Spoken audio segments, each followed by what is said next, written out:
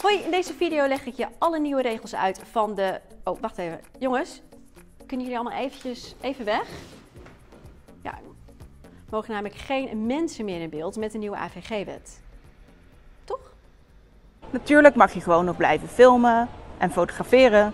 Weet je, de AVG heeft daar zelfs een speciale uitzondering voor gemaakt. Voor journalistieke doeleinden en artistieke uitingsvormen. De vrijheid van meningsuiting.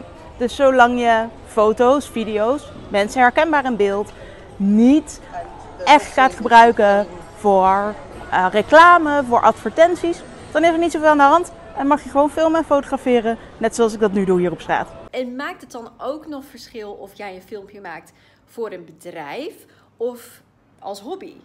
En maakt het verschil of jij nou binnen filmt op een evenement of een trainingslocatie of buiten op straat? Waar je fotografeert, ja, dat kan uitmaken. Omdat als je ergens binnen bent, er misschien wel huisregels gelden.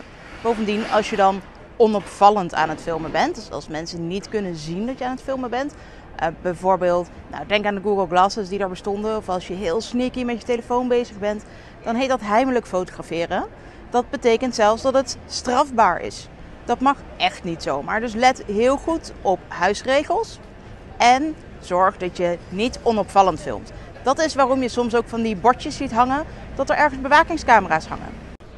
Als je nou echt alleen maar voor jezelf filmt of fotografeert en het dus ook niet openbaar maakt verder, dan val je helemaal niet onder de AVG. Maar dat betekent dus ook dat je niet je filmpje openbaar op YouTube mag plaatsen. Of je het verder bedrijfsmatig doet, er wel of geen geld mee verdient, dat maakt eigenlijk allemaal niet uit. Het gaat gewoon om de privacy van de personen die dan op zo'n foto of in zo'n video voorkomen.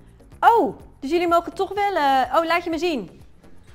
Mag toch wel. Meer weten over AVG GDPR? Check dit artikel van Charlotte.